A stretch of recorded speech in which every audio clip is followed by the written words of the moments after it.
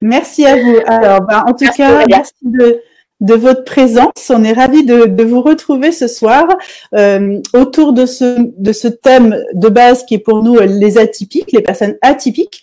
Et ce soir, tout particulièrement, on va parler d'hypersensibilité. Suis-je hypersensible euh, Et notre envie, en fait, c'est plutôt euh, de vous apporter des outils, mais pas spécialement que techniques, de partager nos expériences, nos connaissances, autant en tant que personne hypersensible, mais aussi en tant que thérapeute, praticienne, voilà, et euh, vous apporter ben, un regard euh, peut-être différent, vous apporter une réflexion sur vous-même, et on sera là aussi pour répondre à vos questions. Donc n'hésitez pas au fur et à mesure de ce temps de, de poser vos questions en, en, messagerie. Autant on répondra sur Facebook et Aline sur euh, Instagram. Voilà, il faut que j'arrive à faire le petit jeu dans ma tête des deux réseaux. Et euh, en tout cas, bah voilà. Donc avant, on va prendre un temps pour se présenter parce que peut-être qu'il y a des personnes qui sont là et qui nous connaissent et d'autres qui ne connaissent pas. Donc Aline, je te laisse commencer par la présentation.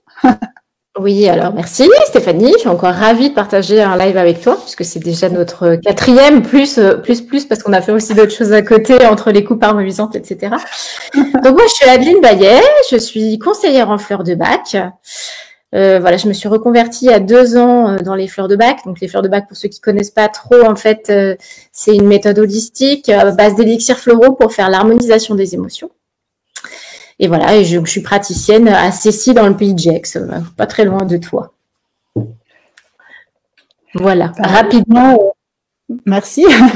Donc moi, bah, je suis Stéphanie Barriose. Euh, donc je suis accompagnante psychocorporelle et ma spécialité c'est le langage du corps, c'est tout ce qui est non verbal. Euh, j'accompagne les personnes à travers euh, leur image, le miroir et pour aller au-delà de l'apparence et aller vers la conscience. Et puis un outil que j'utilise beaucoup du coup, c'est tout le ressenti et les émotions. Donc l'hypersensibilité, c'est quelque chose qui vient vraiment connecter à ça. Donc voilà. Donc, euh, je suis aussi dans le pays de Gex. Moi, je suis euh, à Saint-Genis. Donc, nous sommes près de, de la Suisse pour faire un repère pour ceux qui nous regardent de loin. On est dans la région au pied du Jura. Voilà.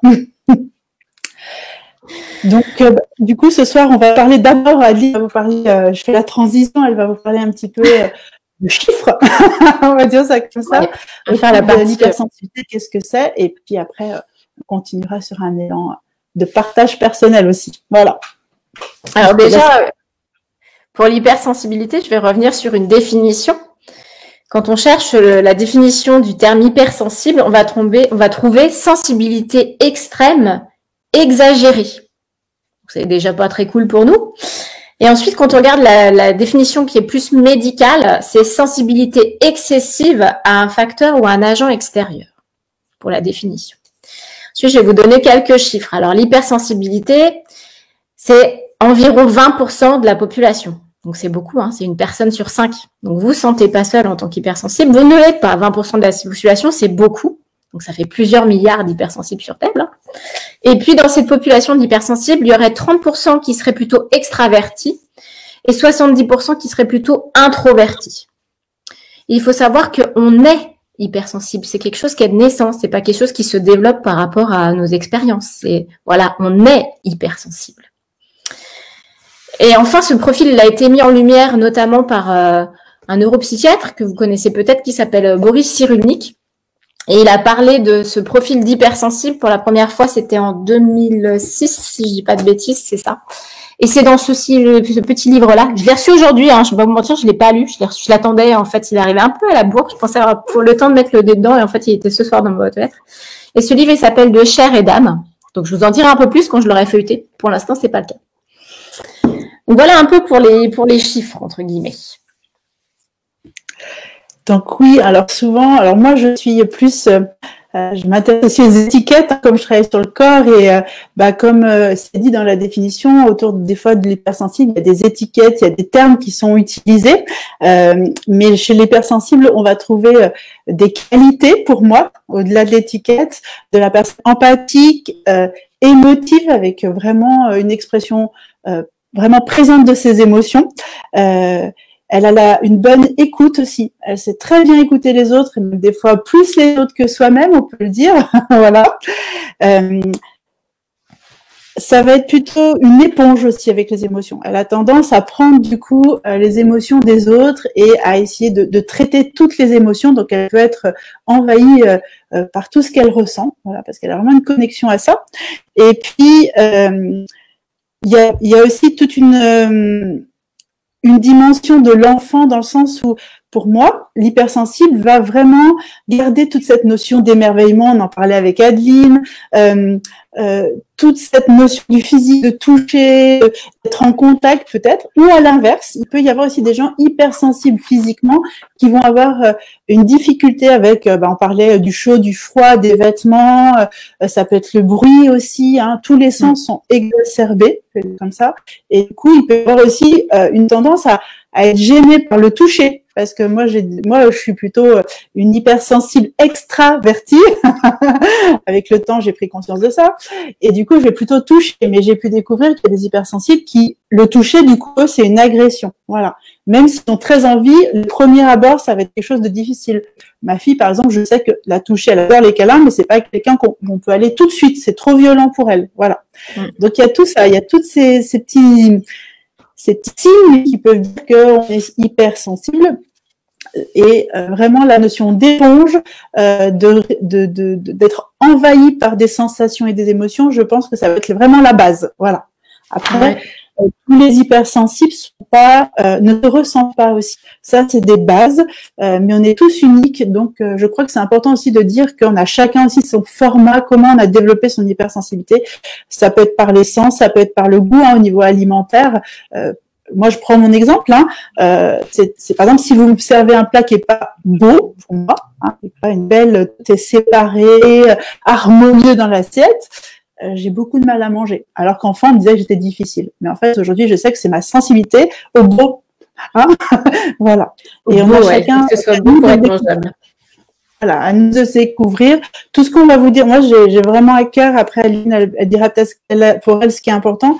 Mais moi, j'ai toujours à cœur que on transmet une information, mais cette information, elle n'est pas non plus euh, un cadre fermé. Parce que justement, dans ce, dans le monde des atypiques et des hypersensibles, euh, on est tous et effectivement, chacun a construit sa façon par rapport à qui il est d'être hypersensible ou d'être atypique. Voilà. Oui, c'est vrai, tu as raison, on est tous uniques et notre hypersensibilité, on va tous la vivre différemment de par nos expériences, de par nos vécus. Euh, de parce qu'on est tout simplement. C'est comme pour les profils hyper, enfin voilà pour les pour les hauts potentiels, tout ce qui est douance, c'est bah il y a des choses qui sont communes et puis il y a des choses qui ne le sont pas. Donc oui, c'est vrai qu'il y a des points communs comme tu l'as dit. Euh, la enfin, je prends le truc, tu parlais tout à l'heure de la sensibilité euh, au niveau de la peau. Alors moi, par exemple, je sais qu'une étiquette, si elle m'irrite, je vais avoir une plaque énorme. Je suis très sensible au bruit. Moi, je suis plutôt une hypersensible bah, introvertie, même si bon, je suis quand même sociable, hein, mais bon, ça, voilà, quand il y a des groupes où je connais pas, etc., je suis pas forcément très à l'aise. J'ai besoin de beaucoup de temps pour me ressourcer. Les moments de solitude, pour moi, c'est quelque chose d'indispensable en fait à ma survie en général, hein, ma survie mentale aussi. Donc, euh, il y a plusieurs profils. On n'est pas, c'est pas, on rentre pas dans des cases en fait. C'est pas juste en cochant une liste qu'on peut savoir si on est hypersensible ou pas aussi.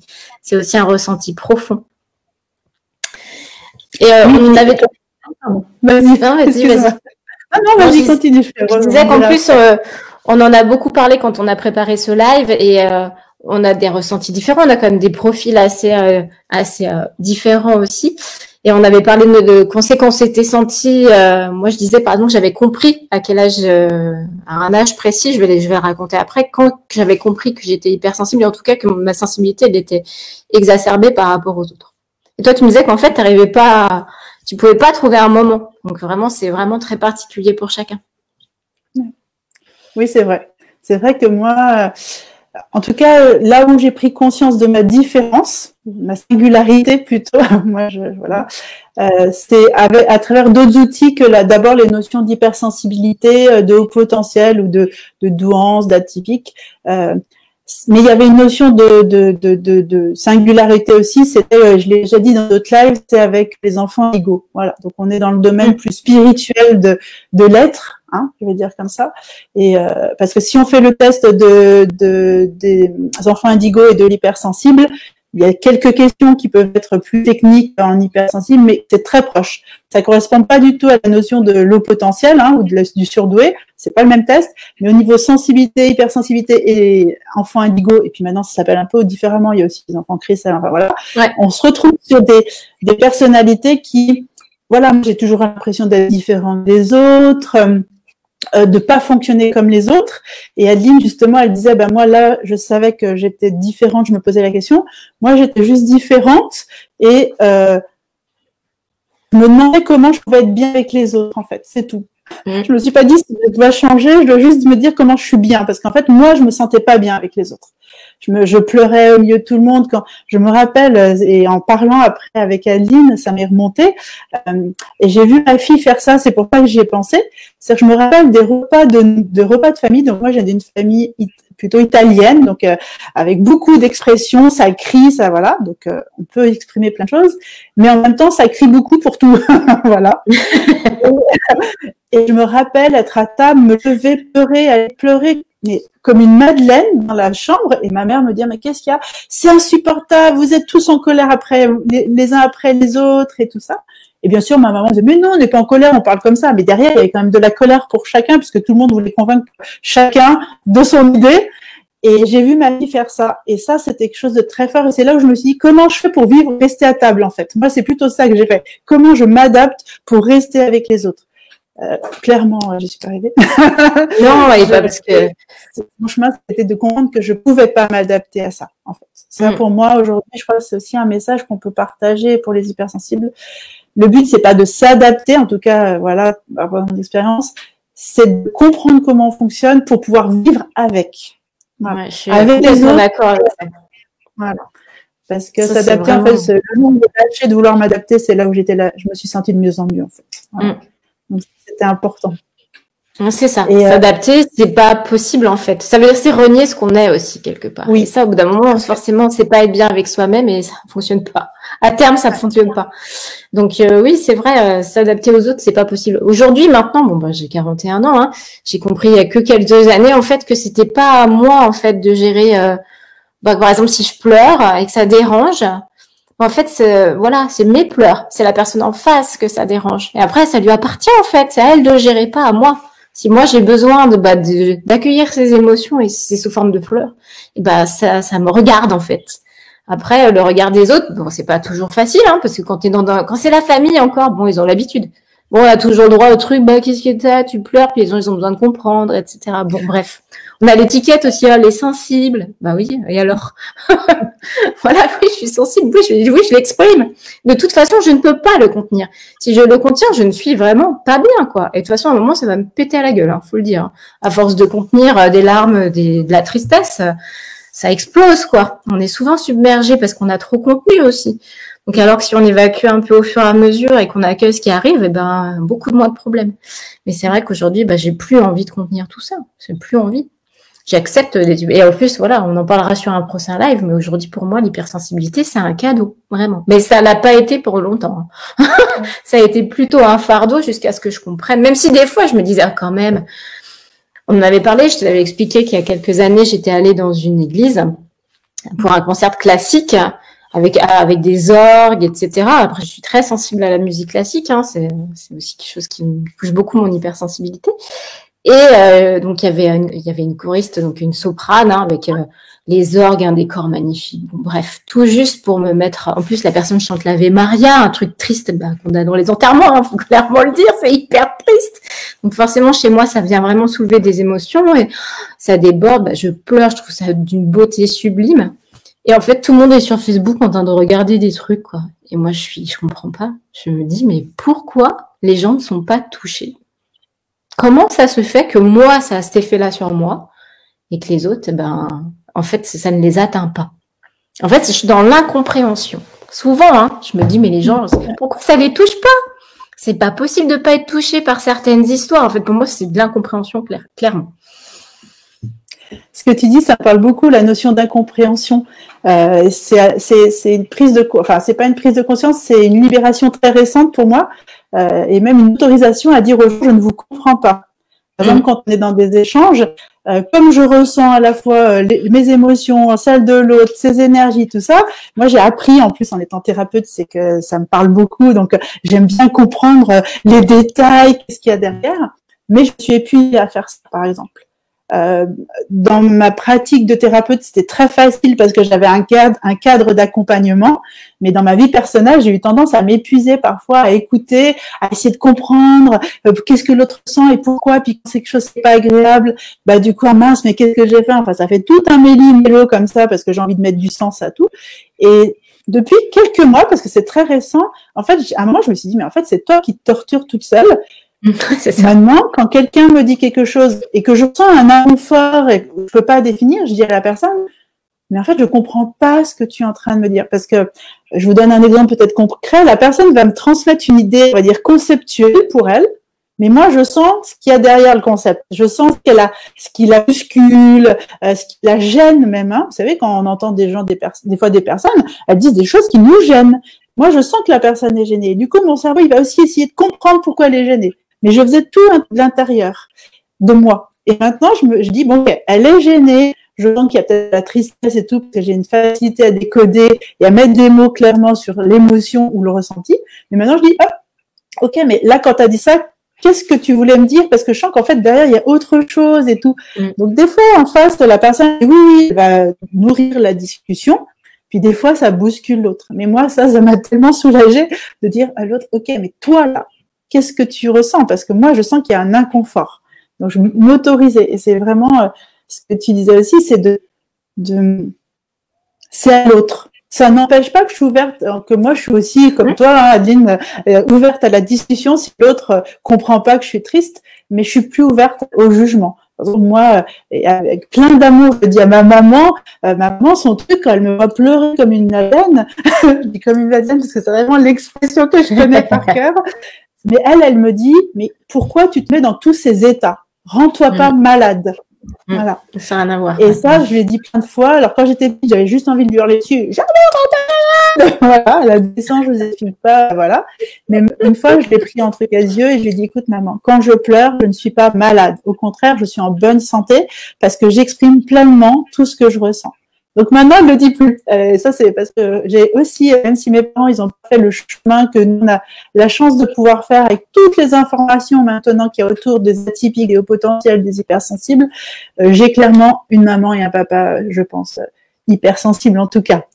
Voilà. Ma mère, elle a toujours été très connectée. Elle est capable, si je pensais euh, quand j'étais au salon que j'avais pas mangé le samedi, que je voulais un plat chinois, par exemple, elle arrivait avec un plat chinois vous le dis franchement, il y avait vraiment une vraie connexion. Donc en tout cas, voilà, ça c'est une sorte d'apprentissage parce que si on ne nous a pas appris à écouter, moi, euh, ce qui me manquait, c'est qu'on me dise tu ressens telle émotion en fait. Voilà. Mm. moi, ce qui m'a beaucoup aidé, c'est la communication non violence. C'est là où ah, j'ai fait ça. Vous voyez, je Il y avait une liste entière de besoins et de, de sentiments. Ben, j'étais trop contente d'avoir plein de mots pour dire tout ce que je ressentais. Voilà. Mm. Donc voilà, ça c'est vrai que c'est important de d'entendre que c'est pas une fois c'est ce que j'avais dit à Aline ce n'est pas toi qui es hyper sensible c'est les autres qui n'arrivent pas encore à se connecter à leur sensibilité. En essayant d'être bienveillant et pas jugeant pour l'autre mais de aussi l'intégrer comme une réalité.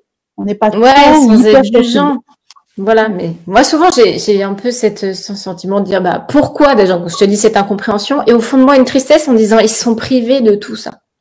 Mm-hmm. Tu vois, il y a ça aussi qui part. Tu vois, je me disais comment ils peuvent passer à côté de ça alors qu'en fait bah voilà c'est voilà, la capacité d'émerveillement. Ça c'est quelque chose que je ressens beaucoup quand je suis dans la nature. Mais comme tu dis, je suis comme une enfant c'est ça me prend, ça m'envahit. Oh, le moindre, tu vois, souvent je passe l'été, euh, je sauve les fourmis volantes dans ma piscine, tu vois, je les revois partir, ben, je suis tellement heureuse, comme des enfants, hein, vraiment, c'est, j'ai cette capacité à m'émerveiller et souvent les, les adultes entre guillemets euh, qui sont pas sensibles, et eh ben ça va pas les toucher. Ils me regardent comme si en plus j'étais une extraterrestre entre guillemets. Non mais elle est complètement tarée. Elle a sauvé une fourmi volante, elle en peut plus quoi. Bah oui, oui en effet, ça me rend heureuse parce que ça fait partie de la vie, parce que c'est voilà, c'est mes valeurs, parce que tout matin clairement, c'est une réalité. Mais c'est pas toujours facile. Hein. C'est vrai que moi, j'ai entendu il y a pas très longtemps, j'ai discuté avec une de mes clientes qui me disait euh, qu'elle acceptait très mal son hypersensibilité parce que pour elle, elle était très forte dans la vie, dans les épreuves, etc. Et que du coup, elle comprenait pas pourquoi quand elle regardait un truc à la télé, d'un coup, c'était les grandes eaux et qu'elle n'arrivait pas à contenir. En fait, c'était faire l'amalgame entre je suis forte et en gros, être hypersensible, c'est être faible. Et ça, c'est faux. Parce que croyez-moi, j'ai eu des graves galères dans ma vie et j'ai toujours avancé, je me suis toujours battue, j'ai toujours été une battante, j'ai un tempérament fort. Et malgré tout, je suis une hypersensible. Ce n'est pas incompatible. Et ça, je, je, tiens à le souligner parce que je l'ai laissé parler. Je pense qu'elle n'était pas de toute façon pas prête à entendre que c'était pas incompatible. Et d'ailleurs, je l'avais invitée à regarder ce live sur les hypersensibles. J'espère qu'elle aura saisi l'occasion de le faire. Mais voilà, c'est pas parce qu'on est sensible ou qu'on est empathique qu'il y a des choses qui nous touchent qu'on peut pas être fort dans nos vies. Ce n'est pas incompatible.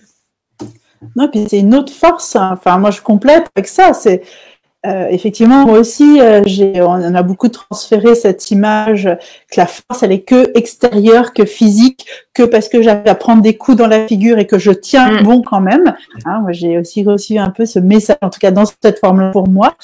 Et euh, vraiment, aujourd'hui, euh, enfin, je peux dire que ma sensibilité c'est une force parce qu'en même temps, dans tout ce que j'ai vécu, euh, si j'ai des amis qui me connaissent depuis longtemps, euh, les gens ils ont une image de moi quelqu'un d'hyper fort.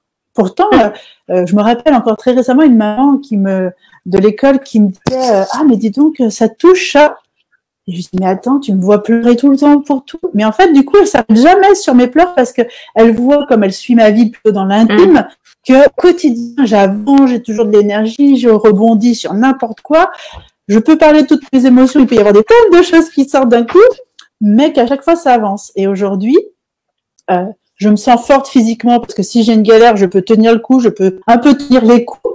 Mais ce qui tient le plus et ce qui fait que je garde toujours la foi ou ma ligne de conduite, c'est vraiment ma sensibilité.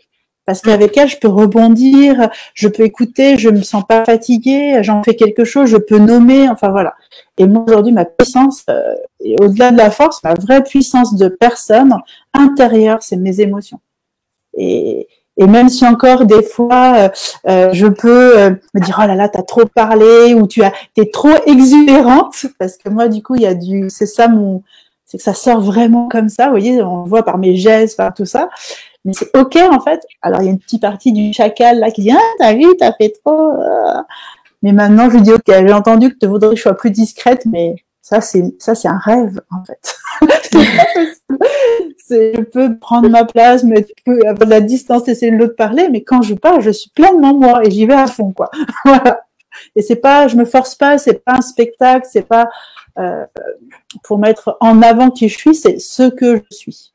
Je suis cette fille qui, rigole fort quand elle a vraiment de la joie et qui pourrait célébrer, danser dans la rue, qui a envie de faire des câlins aux gens, comme celle qui va se recroqueviller sur son canapé quand elle est trop fatiguée, qu'elle a amassé trop d'énergie extérieure négative et qui va se mettre dans ce cocon et personne parce qu'en fait, elle a besoin de, ce, de cette grotte-là.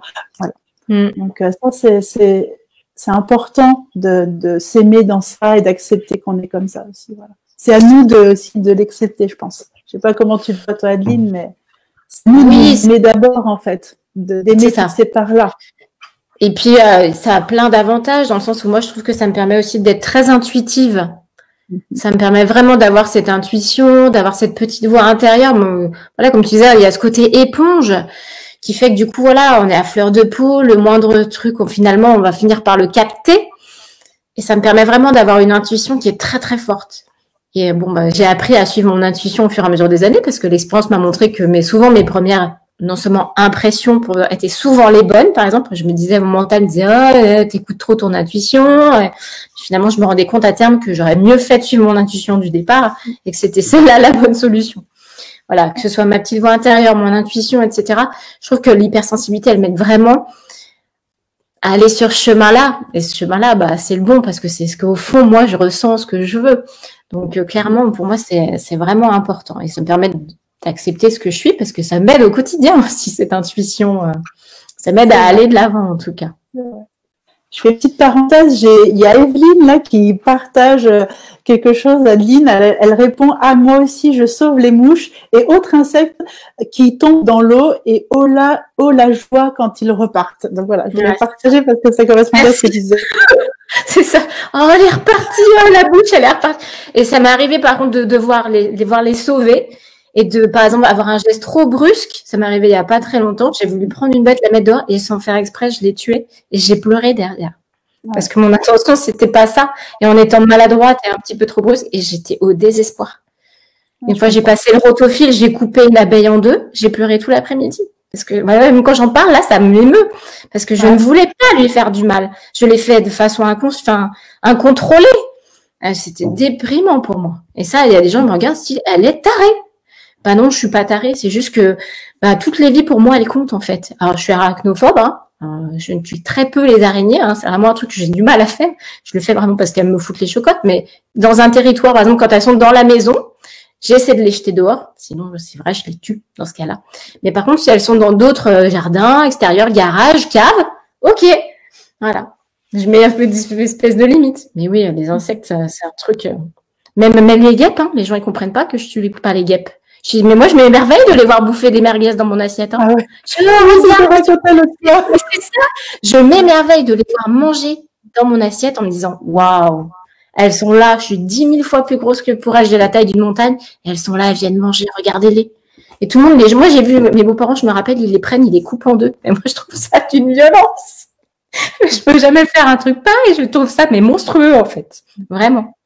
Donc voilà, c'est parfois compliqué, hein, parce que face aux autres, quand il y a ce genre de comportement où ça choque personne, on est là en se disant mais eh oh, pourquoi vous faites ça?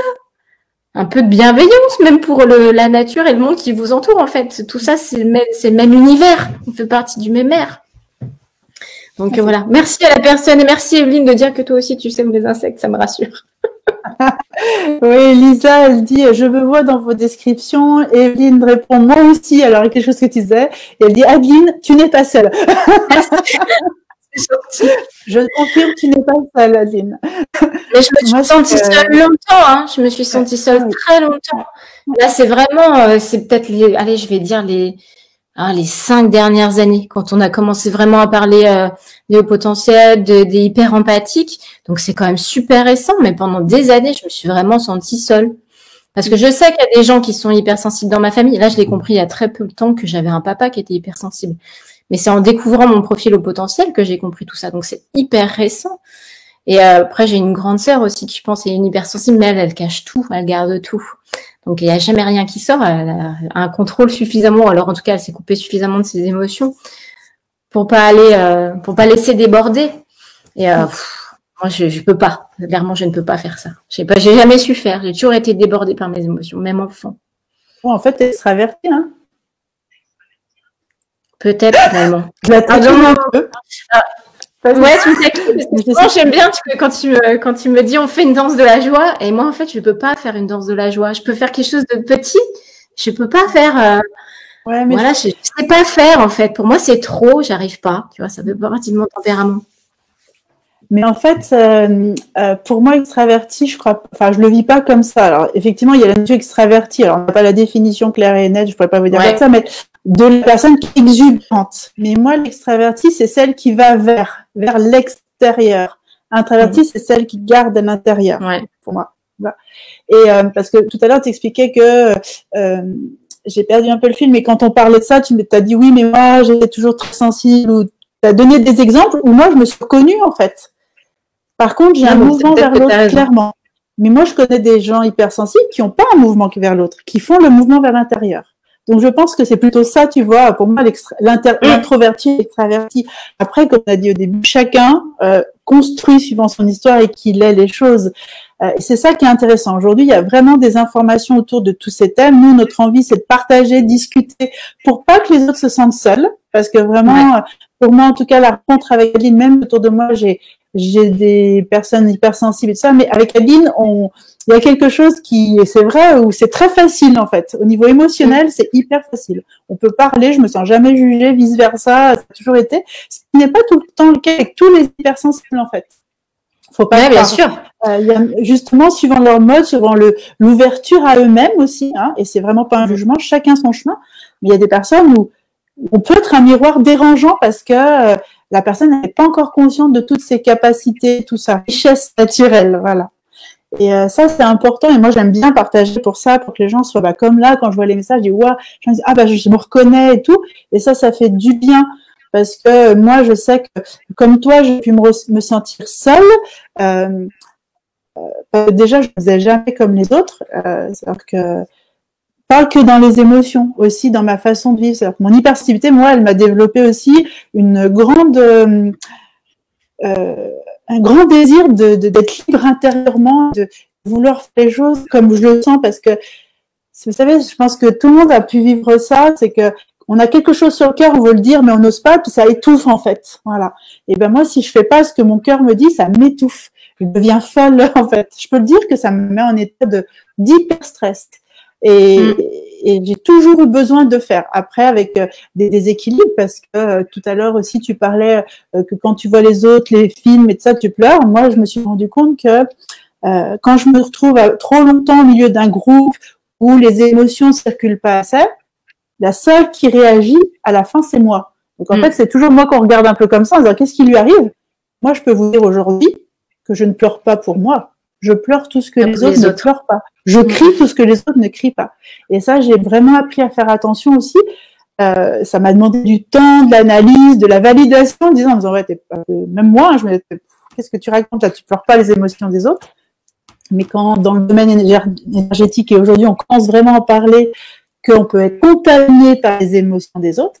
Mais moi, voilà, mon hypersensibilité, c'est que j'étais contaminée par les autres. Et quand je me retrouvais dans un milieu, bah, comme l'histoire tout à l'heure, où je pars en pleurant, mais en fait, je pleurais pour ma famille.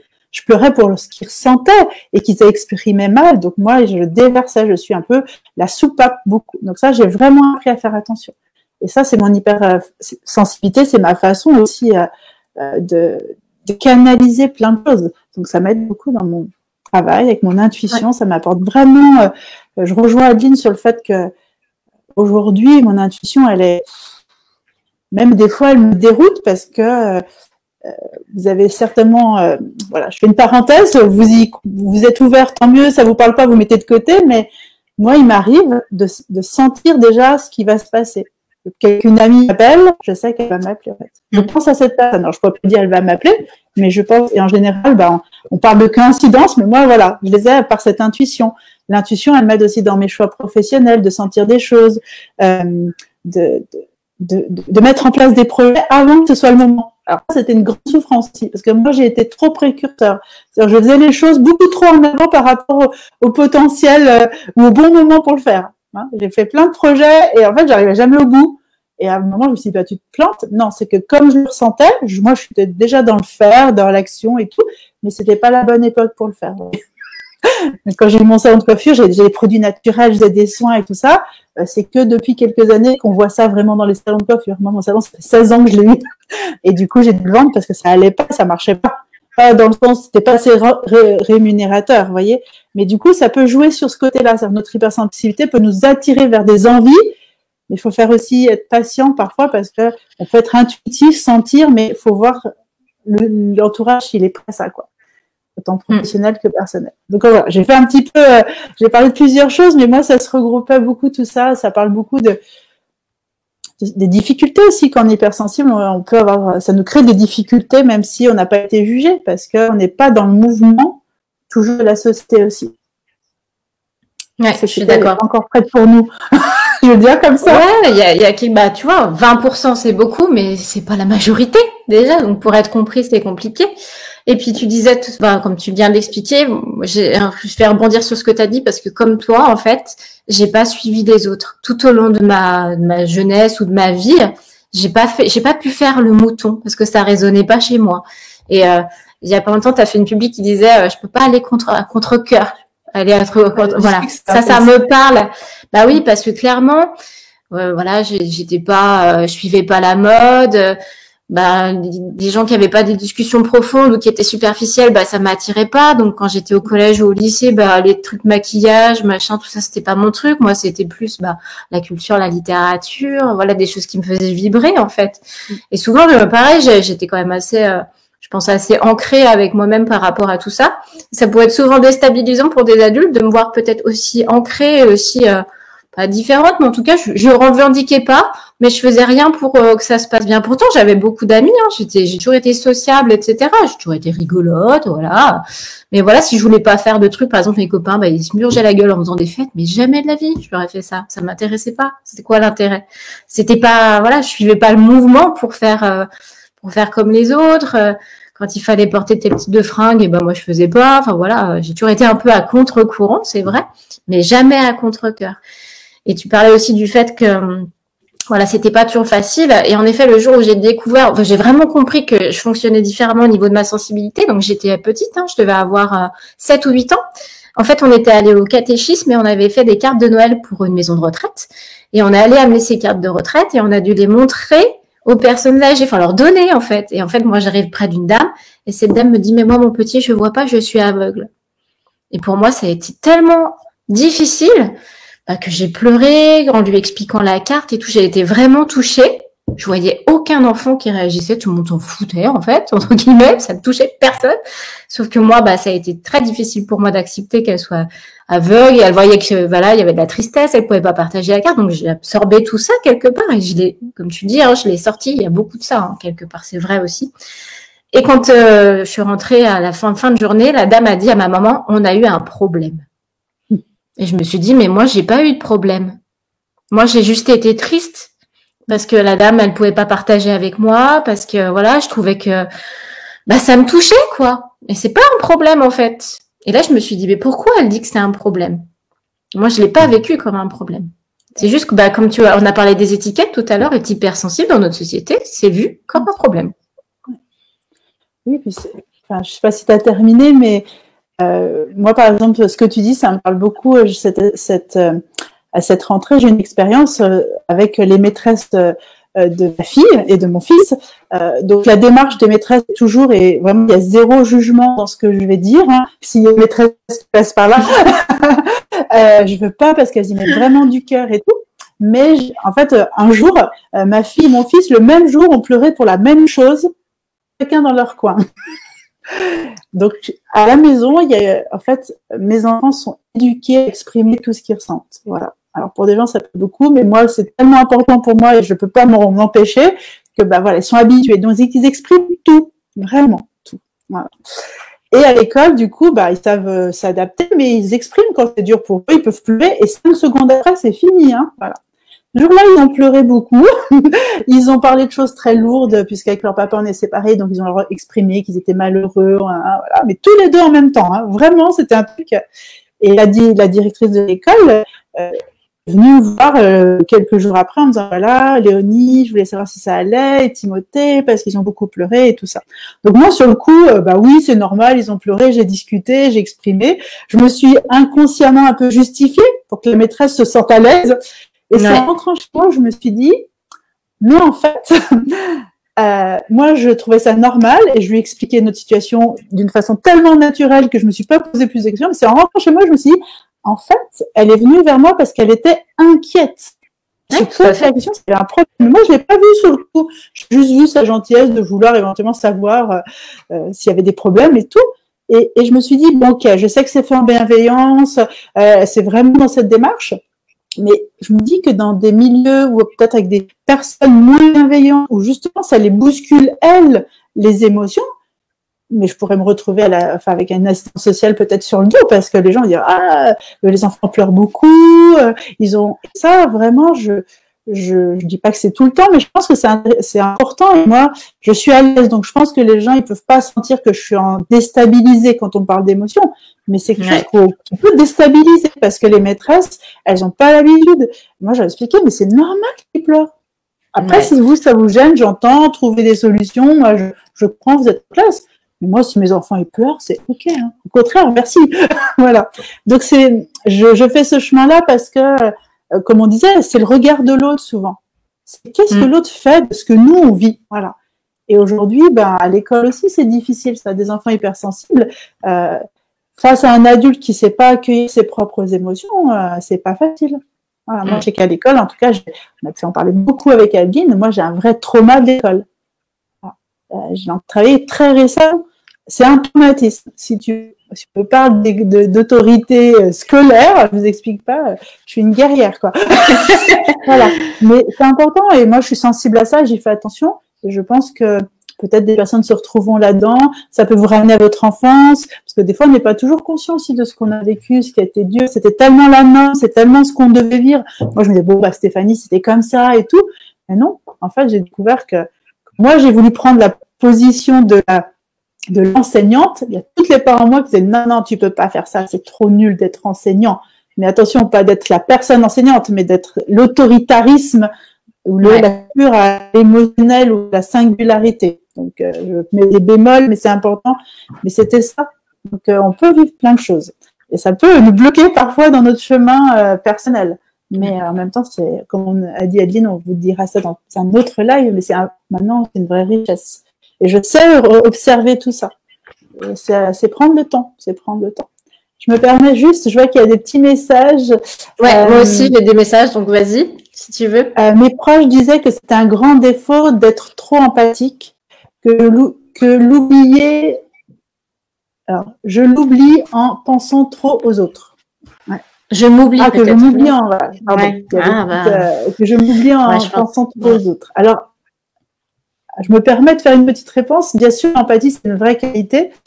Euh, après, il faut avoir les bonnes notions derrière l'empathie, parce qu'il faut faire attention. Enfin, moi, je l'expérimente, je peux le voir. Justement, demain, je vais faire un mm. live perso, c'est sur un peu ce thème-là, l'empathie. Il euh, faut faire attention, effectivement, qu'on ne soit pas dans euh, la pitié. Hein. On peut mm. très vite confondre empathie et pitié, où on nous a appris à oh le pauvre, ah bah, comme il est ou elle est triste. Ok. Euh, ah mais qu'est-ce que je peux faire hein? C'est notre côté tellement bienveillant où on veut sauver l'autre. Et c'est ça la différence. L'empathie, c'est une belle qualité, c'est la capacité de comprendre l'autre, mais on peut pas porter pour l'autre. Voilà, c'est ça. Je sais pas si toi, tu as quelque chose à dire autour de l'empathie, mais... Euh, Alors oui, c'est vraiment il faut être vraiment euh, judicieux avec cette, euh, histoire d'empathie, comme tu dis, il faut vraiment pas sombrer dans la pitié et dans le côté je vais la sauver, parce qu'on peut pas sauver tout le monde. Déjà, il faut déjà commencer par toi-même, c'est déjà pas mal. L'empathie, c'est une belle qualité, je suis d'accord, parce que ça permet de ressentir ce que ressent l'autre et ça permet aussi de le comprendre et d'être à l'écoute. Voilà, ça permet une vraie qualité d'écoute, l'empathie, une compréhension, une bienveillance. Mais attention de pas justement passer du côté justement on peut se faire manger. Là, on a Laetitia qui nous dit les gens sont perdus. J'ai l'impression, lorsqu'on fait part de nos émissions, ils sont perdus devant les pleurs, je pense. Alors, Laetitia, les pleurs, ça déstabilise la plupart des gens. Et euh, voilà, je l'ai expérimenté il y a quelques années. Il y en avait un petit, un petit dégât des eaux ici, et bon, on a eu un gros litige. Bref, et le gars est venu un soir et j'en pouvais plus. Et en fait, bah, comme je suis très émotive, et ben en fait, ça a fini par des pleurs et ça l'a décontenancé. Mais quand je vous dis décontenancé, le monsieur s'est décomposé. Il savait plus quoi faire, il savait pas comment gérer. C'était des pleurs d'incompréhension, de colère chez moi, tout ça, de la tristesse, etc. Il était euh, vraiment, ça l'avait complètement mis. Euh, et c'était un gros bonhomme au début, arrivé euh, comme ça en disant ouais, de toute façon, c'est comme si, c'est comme ça. Et une fois qu'il m'a vu pleurer, c'était un agneau, il savait plus quoi faire. Donc oui, les gens sont complètement décontenancés par des pleurs. Donc là, ça s'est bien passé pour moi dans le sens où du coup, il a été plus sympathique parce qu'il ne savait pas gérer et du coup, il a été beaucoup plus doux. il y a beaucoup de gens que ça dérange. Et soit, voilà, ils vont vous montrer du doigt en disant, euh, en vous collant l'étiquette, hein, ça on en reparlera plus tard, euh, t'es fragile, t'es sensible. Euh, tu, moi, j'ai entendu des trucs, hein, t'es une tapette, des trucs pas toujours très gentils, hein, mais voilà, après, c'est les gens qui le ressentent comme ça. C'est une façon de se protéger aussi, je pense. Elle dit donc il faut savoir gérer l'empathie. Je suis en pleine phase d'apprentissage. Eh ben oui, Laetitia, bon courage. Mais oui, ça s'apprend aussi, savoir gérer ah l'empathie. Et cette histoire de pitié, ça me semble important. C'est toujours une histoire de positionnement finalement. C'est toujours pareil, dire ok, j'entends ce que tu me dis, ça me touche, j'entends ta souffrance, j'arrive même à la sentir presque. Hein. Ça, en tant que thérapeute, moi, enfin, je sais pas pour toi, Stéphanie, moi souvent c'est difficile parce que j'ai des fois j'ai des gens qui ont quand même des des gros dossiers. Donc, euh, je ressens, hein, tu vois, tout ce qu'ils disent pas, c'est ce que tu dis. Hein. Moi, à la fin de la séance, quand ils partent, c'est moi qui pleure. Parce que tout ce qu'ils n'ont pas sorti, qui c'est qui va le sortir? C'est Bibi. Donc, des fois, c'est compliqué. Hein. Donc, l'empathie, ça, ça nous permet aussi de comprendre et de pouvoir les accompagner, parce que c'est là qu'on se rend compte aussi de la force de leur souffrance et de la profondeur de tout ça.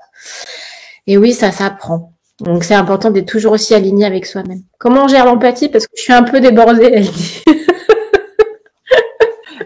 Est-ce que tu me permets de répondre à quelque chose à cette question? Alors déjà, alors moi je suis très sensible aux mots. je préviens. Euh, déjà gérer là, ça va pas. C'est comme quand on parle gérer des émotions, on ne gère pas. Ça ne se gère pas parce que gérer vient du mental. Mm. Ça s'accueille. Et quand l'empathie, on ne sait pas quoi en faire, c'est, en fait, je vais vous donner, je vais faire un petit cours euh, entre guillemets. Le cerveau, il, met en forme des actions par le ressenti. C'est d'abord notre ressenti qui donne l'information. Si vous dites je dois, il faut, en fait, faut pas croire, ça tient pas longtemps ça. Par contre, si vous laissez envahir, en tout cas, pour moi, une émotion, une sensation, la meilleure chose, c'est de se laisser envahir. Donc, c'est inconfortable au début, on se sent déstabilisé, on peut se sentir en hyper stress parce que du coup, c'est plein d'infos en même temps.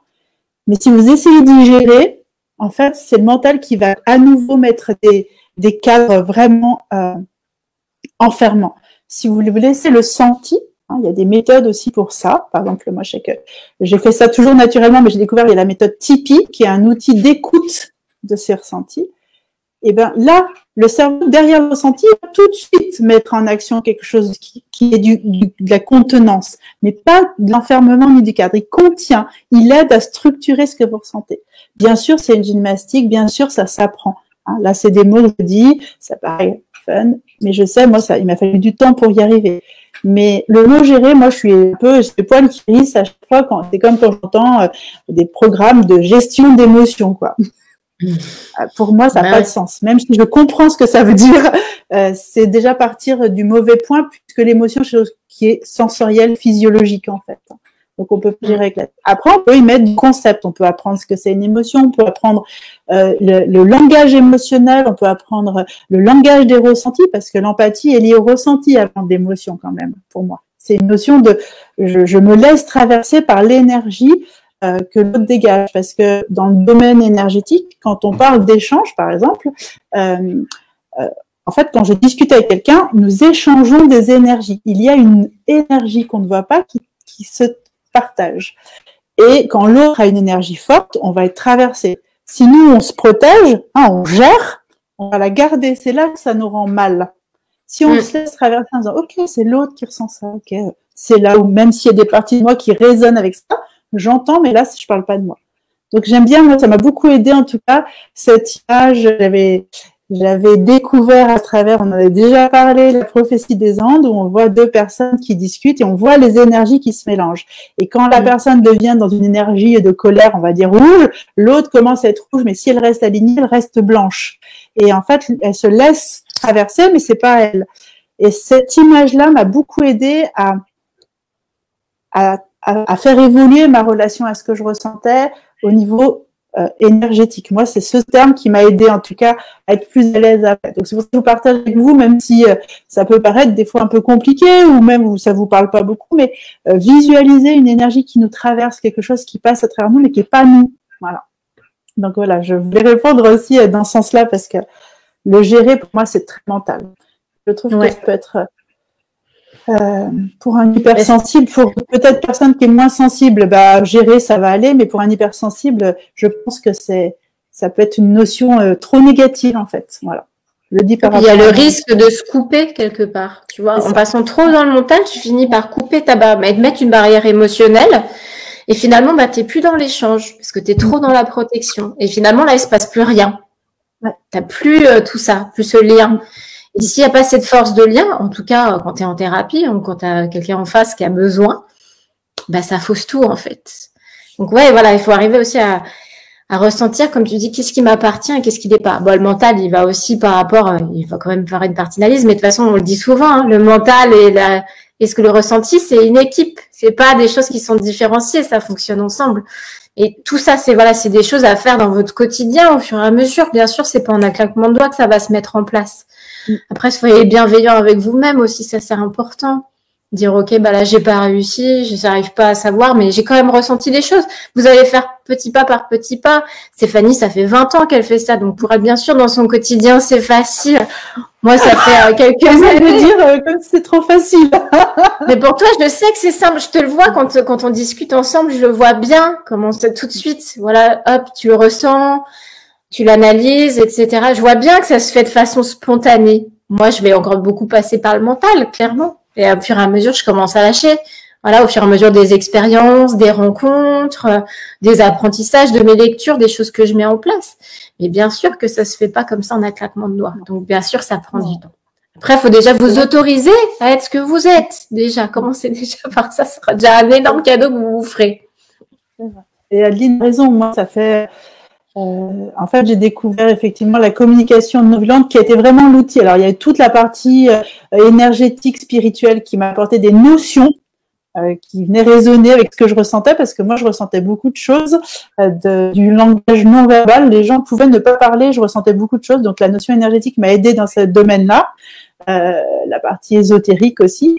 Mais c'est la communication non violente, c'est cet outil premier qui, là, lui, m'a amené du, du concret, de comprendre euh, qu'est-ce qui se passe au niveau sensoriel, émotionnel et de mes besoins. Voilà.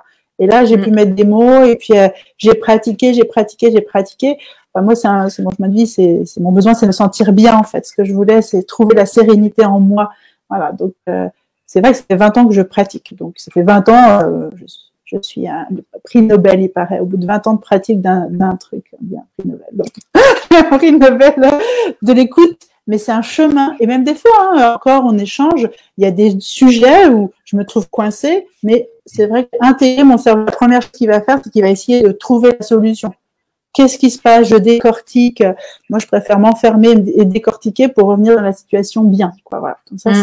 c'est J'ai des petits messages de mon côté. Alors, Evelyne, pour moi, c'est la méthode fœtus. Je me replie en position et complètement couverte à l'écoute de ce battement de mon cœur. Je recrée le cocon si ça peut en aider certains. Oui, c'est un très bel exemple. Chacun, bravo. Ah ouais, c'est vraiment. Euh, chacun trouve, trouve, ses outils aussi hein, pour revenir à soi. Ça, c'est important.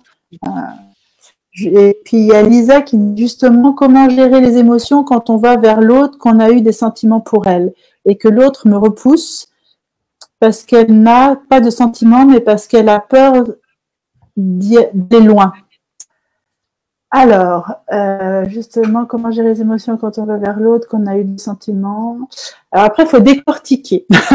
Je vais dire ça comme ça. Mm. Euh, ce qu'il faut, après, peut-être qu'on pourra faire un live direct euh, complet sur les émotions, parce que ça a vraiment toute cette consistance. Mais, sachez que on ressent pas une émotion à la fois on ressent une multitude d'émotions des différentes parts de nous. Pour résumer un peu la chose. Donc, il, y a, il peut y avoir l'adulte, le parent, l'enfant, pour les premières bases des parents en nous. Hein. Mais après, il peut y avoir l'adolescent, il peut y avoir le, gardien, il peut y avoir plein de choses. Et euh, si chacun a son angle de vue sur la problématique, il peut y avoir plein d'émotions ensemble. Donc, la première chose avant d'aller vers l'autre, c'est ce qu'on apprend aussi, c'est qu'avant de faire une demande en communication non violente, on fait un retour à soi. Donc, je ressens des choses. Euh, ok, au lieu d'être tout de suite dans la réaction et de trouver une solution, c'est ok, là, je me sens pas bien avec ces, émotions et euh, je ne sais pas quoi en faire, je ne comprends pas tout. Donc là, je prends du recul euh, et je réglerai ça plus tard avec l'autre, mais d'abord, je reviens à moi. Ça, c'est important. et quand il y a des sentiments, ben, ben c'est ça, ça veut dire que euh, on doit rester avec nos émotions. On ne doit pas essayer tout de suite les faire partir et s'en débarrasser. Mm. Je peux le dire aussi en tant que personne, c'est que euh, il y a à la fois la part de moi qui a toujours envie de sentir plein de choses et celle qui a tout le temps envie de rien sentir. Il y a deux souvent. Il y a celle qui adore les sensations, et puis il y a celle qui, quand c'est pas des sensations confortables, va dire non non, j'en veux pas. Mais en fait, c'est une invitation à tout ressentir. Ce qu'on disait, être à l'écoute de ce qu'on ressent de soi, c'est accepter de tout ressentir et même ce qui est inconfortable. Mm. Et si on a assez, je vais le dire comme ça, de mental, de, de connaissance, de vocabulaire, euh, de compréhension des émotions de façon logique, et ben, les deux ensemble, je fais un schéma là, je sais pas si je suis bien claire, euh, voilà, les deux ensemble vont travailler pour quand vous allez ressentir votre cerveau, moi, il va les piocher dans les cases. Ah là, c'est de la tristesse. Ah là, c'est de la colère. Ah ça. Mais ça, c'est une pratique. Et, et c'est pour ça qu'on dit de pas gérer les émotions, de les accueillir. Euh, le travail qu'on a à faire, c'est de, dire, OK, bah, je suis responsable. Aujourd'hui, je suis l'adulte. Euh, pour ceux qui ont des enfants, c'est un peu comme quand un enfant arrive avec une décharge émotionnelle. C'est pas en lui disant tais-toi que la décharge elle va s'arrêter vite. C'est en disant OK, quelque chose qui va pas. Et c'est en laissant l'enfant aller jusqu'au bout de cette décharge. Après, il va y mettre des mots. Il va dire oui, bah là, c'est le copain, il n'était pas sympa tout à l'heure, la maîtresse, elle n'a pas fait ce que je voulais, gna gna. La phase mm. première, c'est une phase de crise. Et pour l'adulte, c'est pareil. Et sachez que adulte, pour moi, euh, quand on nous a pas appris à être vraiment dans cette pratique de l'écoute de soi, on repasse les phases de l'enfance qui faisaient des caprices. Je dis cela parce que c'est celui qui est le plus connu. Mm. Mais la partie où il y a de la décharge, hein, c'est une décharge. Voilà. Donc, s'il n'y a pas de gestion, il y a juste prendre le temps et après essayer de sectariser. Ben, ça, c'est la compagne, ça, c'est ça, c'est la petite fille qui parle. Mais pareil, hein, euh, c'est difficile à dire, mais c'est aussi un chemin. C'est difficile à faire. Euh, je m'excuse Stéphanie parce que sur Instagram, le direct ne dure qu'une heure. Donc, dans 20 secondes, ah il va être coupé. Donc, c'est pour ça que... Il est coupé. Voilà, ça a disparu. ok. Alors, euh, bah, voilà, ça s'est coupé d'un Ah oui, je savais pas. Alors, attends, je vais être obligée de le remettre. Euh. Est-ce que tu veux le lancer? Ça a coupé d'un coup sur Insta. Je suis désolée pour ceux qui regardaient. Je vais vite reprendre, je vais relancer. Il va falloir que tu. Ouais, en fait, voilà, on est limité à une heure. Je peux continuer à parler sans euh, souci. Je vais juste mettre en IGTV. Je suis obligée, sinon après c'est perdu. C'est pas un souci. je vais revenir après. Hop, je suis hypersensible. Je remets mon petit support. Donc, je vais laisser publier. Normalement, ça va remarquer. Je vais euh, relancer le live. Du coup, je ne t'entends plus parce que j'ai mes ah. écouteurs sur Insta et pas sur l'ordinateur. Mais même sans le son, tu es merveilleux. Je discute avec moi-même et avec les personnes qui sont là. Je vais pas continuer sur ce sujet de, gérer et de gérer. Euh, franchement, la meilleure chose pour y arriver, comme je vous dis, je sais que c'est des mots, tout ce que je vous dis, euh, mais pour arriver, c'est une pratique et pour ça, ça va être des petites étapes. Euh, au départ, c'est peut-être juste prendre du temps. Euh, tiens, là, bah, je ressens quelque chose. C'est dire, ok, je ressens quelque chose. Et on cherche pas à décortiquer mentalement, mettre un concept ou dire pourquoi, c'est quoi la raison, c'est ma faute, c'est la faute de l'autre. Non, c'est juste, ok, je ressens. Donc juste d'abord se connecter à ces sensations. Quand c'est ça, quand c'est, ça y est. Alors, si tu veux. Euh... décaler. Voilà, attends, je vais étendre le son. On entend toujours? Alors, attends, parce qu'il y a un décalage. Attends. Ok. J'attends pour entendre sur Instagram pour pas avoir le son en doublon. Ça connecte. Oui, j'entends. Mais je vais éteindre là parce que si ça fait un décalage pas agréable. Ça y est, c'est tout bon. désolée pour ceux qui ont été coupés en plein. Voilà, c'est juste simplement pour ceux d'Instagram. Je suis désolée. Comme les Instagram durent qu'une heure et qu'on a un petit peu dépassé, bah, ça a coupé d'un coup. Donc, euh, bah, je suis, voilà, on vous retrouve. Je ne sais pas où Stéphanie en était sur Facebook. Du coup, on a été un petit peu coupé. Et voilà, ce coup-ci, c'est bon. en train d'expliquer des premières étapes peut-être à faire pour être à l'écoute de ses émotions, de ses ressentis, et qu'au départ, il y a une chose, mais la plus bête, euh, la plus bête, la plus simple, c'est juste, ah, je ressens quelque chose et je, je le reconnais que je ressens quelque chose. Mm. Et peu importe si je peux l'analyser, le décortiquer, ça, c'est pour plus tard. C'est une répétition de j'écoute, ah oui, je reconnais déjà, je reconnais que je suis dans le ressenti, je reconnais que je suis envahi, point barre. Mm. Euh, c'est un petit peu, moi, je fais beaucoup d'exercices avec le miroir, je suis ça c'est mon outil de prédilection. Et c'est, j'invite les gens à dire, à se regarder. C'est bête, hein, mais c'est regarder, c'est prendre un temps de dire, ah, je suis là. Je, je, je, me ressens parce que quand on se regarde, comme on regarde l'autre, on s'envoie des informations et il y a des informations qui passent dans, au niveau sensoriel. Voilà. Ouais. Donc, apprendre à faire ça. Après, si vous avez l'habitude quand même déjà de vous écouter, parce que vous faites peut-être du yoga, de la méditation, du tai chi, de la musique, vous sentez que quand même voilà, il y a d'autres étapes après qui sont, ok, ben maintenant que je ressens quelque chose, je vais essayer d'y mettre des mots. Donc, par exemple, je reviens à la communication non violente, mais c'est un très bon outil, pas la technique en elle-même, mais il propose des listes d'émotions et de sentiments et de besoins qui peuvent vraiment développer votre vocabulaire. Moi, je vous invite à développer votre vocabulaire sensoriel et émotionnel. Parce que si on n'a pas les mots, on reste sur peur, tristesse, joie, colère, effrayé. C'est coincé. Et surtout, quand on est hypersensible, on a un arc-en-ciel de sensations et d'émotions. Hein. et Aujourd'hui, il y a plein de choses en plus pour les enfants. On a développé vraiment plein de supports pour aider la roue des émotions, les choses comme ça. Sur des lives, on en avait déjà parlé avec Adeline. Ça, ça va vous aider à développer votre vocabulaire.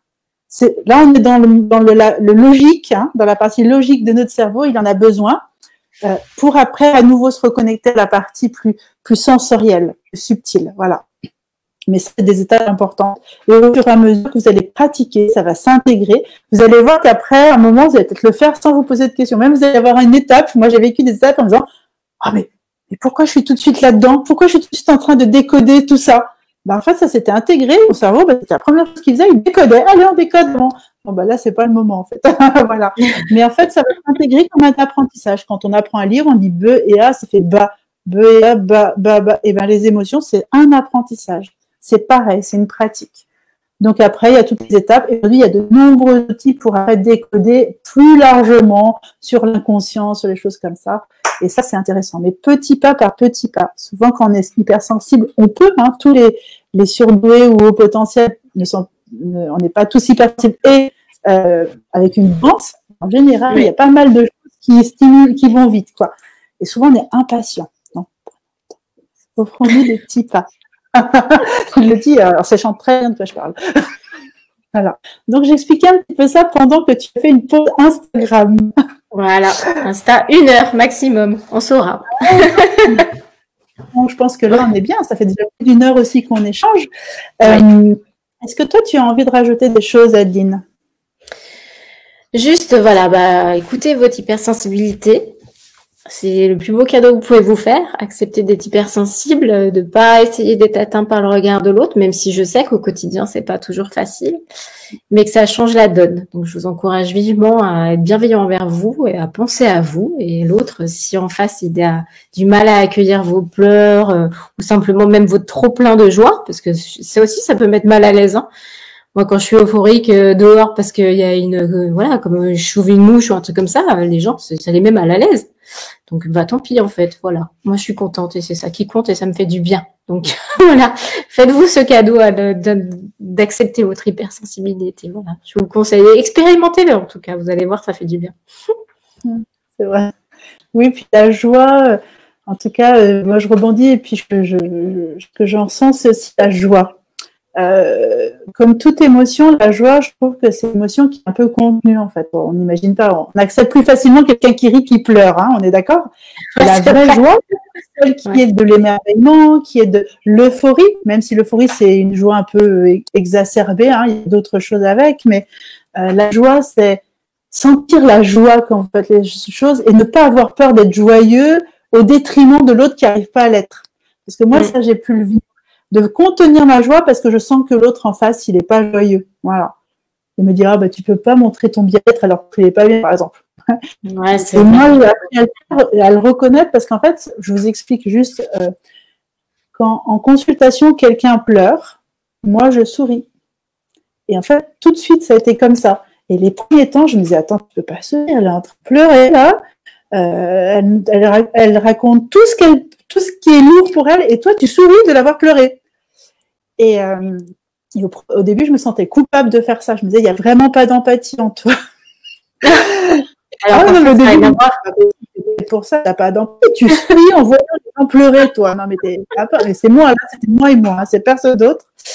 Et en fait, euh, aujourd'hui, je sais pourquoi je souris. En fait, quand je vois pleurer quelqu'un, c'est la vie qui revient pour moi. Donc, ça me rapporte de la joie. Voilà tu parles souvent du terme vivance, en fait. J'aime bien quand tu utilises ce terme. N'oubliez pas que toute émotion que vous exprimez, bien sûr, elle peut être exacerbée parce qu'elle est connectée à des émotions qui sont contenues liées au passé, mais toute émotion est un mouvement de vie. il ne faut pas oublier ça. C'est la vie que vous exprimez. Donc voilà. C'est une belle note de fin. En tout cas, euh, merci aux personnes présentes. Merci à celles qui écouteront en replay. N'hésitez pas, même si vous êtes écouté en replay, à poser des questions avec Adeline. On reste connecté toujours sur nos comptes. On répond si vous avez des questions. Ça, nourrit aussi nos réflexions pour les prochains lives. Euh, et, euh, et puis, bah, je crois que bah, merci Adeline encore pour ce partage, cette authenticité. À ces moments. Comme on vit, on a la enfin, moi, je, remercie parce qu'on a la chance de le vivre aussi en réel, ce partage.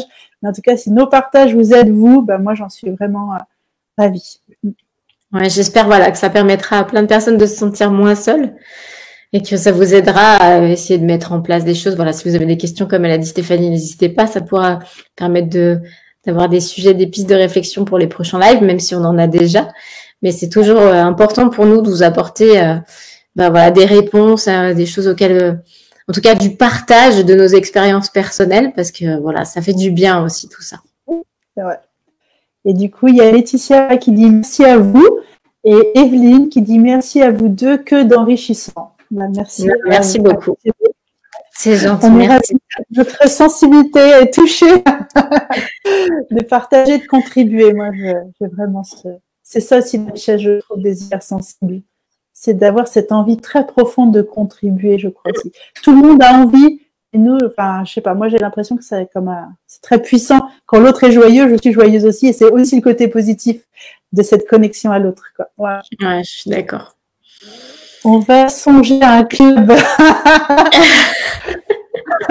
Bah, justement, c'est une très bonne réflexion. oui, c'est vrai. Avec Aline, du coup, on a créé un groupe. c'est vrai, ouais, un groupe sur Facebook.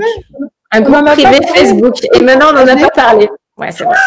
Donc, merci Laetitia de parler du club. En tout cas, on a créé un groupe euh, atypique tout simplement. Hein. Je suis, on est OK? C'est bien ça le thème. ça le thème. Donc, si vous avez envie de rejoindre ce groupe, vous cherchez sur Facebook. On le partagera sur nos pages. Euh, c'est un Facebook et c'est un lieu justement où on a envie euh, de de répondre euh, à vos questions. Euh, vous, euh, si vous avez des sujets à partager, alors évidemment, il est un peu modéré pour pas non plus d'aller dans tous les sens, que tout le monde puisse mm. retrouver des informations, qu'on puisse se repérer assez facilement. Mais c'est un lieu de partage, de connexion pour pas se sentir seul. Voilà, on avait envie on a créé un groupe mais qui est privé, c'est-à-dire que voilà, il y a un petit questionnaire d'entrée parce que c'est vrai qu'on s'est rendu compte, moi, par exemple, j'ai une, je modère un groupe hein, pour les fleurs de bac et on est à 1200 personnes et il y a des gens qui ont 146 groupes. Donc clairement, euh, ce qu'on a envie, c'est que les gens ils viennent, qu'ils partagent, qu'ils échangent, que ce soit quelque chose de vivant, euh, de constant et qu'il n'y ait pas juste des gens qui s'inscrivent et qui soient pas voilà, qui participent pas. On trouvait que c'était dommage. Donc c'est vrai qu'on a créé ce groupe fermé. Euh, on a créé ça il y a quoi, il y a la semaine dernière, je crois. Et puis c'est vrai qu'on avait, on avait pas parlé depuis. Donc merci Laetitia d'avoir remis ça sur la table. Oui, c'est vrai que c'est important parce que c'est un lieu d'échange et puis du coup, ce, voilà, ce sera notre notre club euh, hypersensible. Voilà, bon, c'est un lieu pour les atypiques. Hein. L'hypersensibilité fait aussi souvent partie euh, de notre personnalité atypique. Mais mais voilà, donc voilà, mais cherchez ce groupe et inscrivez-vous. Voilà, n'hésitez pas, on pourra partager. Peut-être, moi je rajoute là euh, sous le live. Euh, et puis euh, le but aussi, nous, notre envie, c'est de partager les outils qu'on a déjà aussi en tant que personne, mais aussi en tant que thérapeute, parce qu'on a aussi des outils qui peuvent vous aider, vous inspirer. clairement, c'est ça qui nous intéresse. Et puis donc eh ben merci, c'est vrai que tu vois, j'avais dit ça, je dis ah bah oui, on n'avait pas parlé. Ah oui, c'est vrai, mais non, puis on n'avait même pas prévu d'en parler en fait, donc c'est que ça s'est proposé comme ça, c'est encore mieux. Non. on avait pensé à qu'est-ce qu'on va partager avec vous, mais le groupe qu'on a créé. Donc voilà, merci euh, euh, Laetitia pour ça. Et puis, euh, bah, du coup, j'ai aussi d'autres. Merci beaucoup à vous. Trop fort, je savais même pas. voilà, ça c'est Laetitia. Et Evelyne, elle y va de ce pas. Non, bah, c'est chouette. Merci. Et eh ben, bonne soirée. Bonne soirée, à bientôt. Aussi, je te fais un bisou. moi aussi, ouais, des bisous. Et merci de votre présence.